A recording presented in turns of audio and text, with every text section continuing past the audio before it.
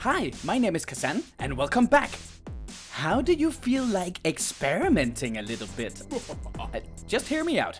Earlier today, I was just minding my own nothing, and then this great idea just popped into my head. Why don't we create a Frankenstein monster by combining two completely opposite fictional characters? Let's try it out. So, for today's experiment, I have chosen to mix Pennywise the Clown and da -da -da, Winnie the Pooh. Now, before we get going, please do not forget to subscribe. We wouldn't have you missing out on future Frankenstein monsters, now would we? Now, enjoy this explosive intro while I go find the blender. So, are they gonna kiss or what? Oh my god, no!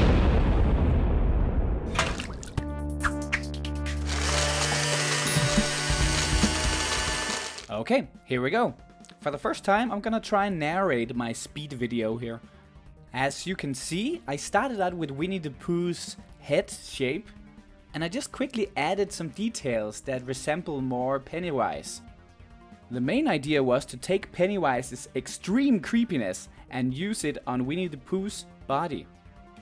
Simply, I just pretended to draw Winnie the Pooh and kept adding details from Pennywise. I don't know if you've seen the It movie, the newest one, the one from 2017, because that's the Pennywise I'm using right now. And it's mostly because I just simply love Bill Skarsgård's interpretation of Pennywise. It is utterly insane. I see we are on with the line art now. When looking at Winnie the Pooh, did you actually know that it wasn't Disney that came up with his red shirt? This idea came almost 30 years before Disney's first animated feature with Winnie the Pooh.